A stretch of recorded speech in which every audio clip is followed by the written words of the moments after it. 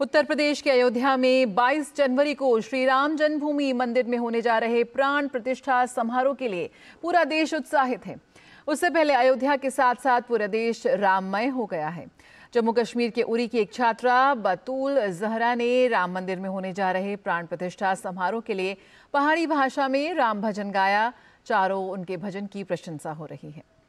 हमारे पीएम मोदी जी ने 11 दिनों का व्रत रखा है। प्राइम मिनिस्टर ने ये संकल्प राम मंदिर प्राण प्रतिष्ठा की नेक आमद में रखा है।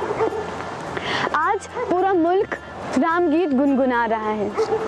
और इसमें हमारा जम्मू और कश्मीर भी पीछे नहीं है। चलिए, मैं आप लोगों के साथ जुड़ जाती हूँ उड़ी कश्मीर से।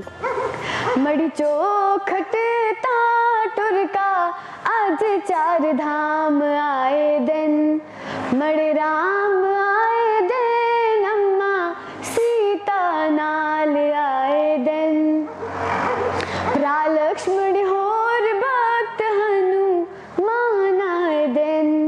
बजाओ टोल स्वागत बीच मड़े कार राम आए दिन वसलाम। और अयोध्या में 22 जनवरी को राम मंदिर के भव्य शुभारंभ और श्री रामलला के प्राण प्रतिष्ठा कार्यक्रम का उत्सव अमेरिका के टाइम स्क्वायर से लेकर यूरोप के आईफल टावर तक देखने को मिलेगा।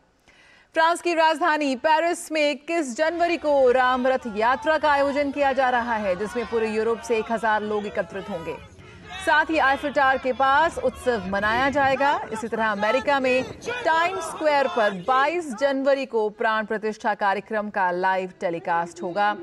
हिंदू मंदिर एम्पावरमेंट काउंसिल ने नॉर्थ अमेरिका से लेकर कनाडा तक के मंदिरों में पूजन व दीपोत्सव के आयोजन का निर्णय लिया है। विगत कई हफ्तों में वॉशिंगटन शिकागो और दूसरे अमेरिकी शहरों में राम मंदिर के जश्न को लेकर कार रैलियाँ निकाली गई हैं। न्यूयॉर्क शहर के मेयर एरिक एडम ने कहा कि अगर हम न्यूयॉर्क शहर में हिंदू समुदाय को देखें तो ये कार्यक्रम बेहद महत्वपूर्ण है। ये उन्हें जश्न मनाने का एक मौका देता है। विश्व हिंदू परिषद ने भी कई देशों कई देशों में आयोजन की रूपरेखा तैयार की है।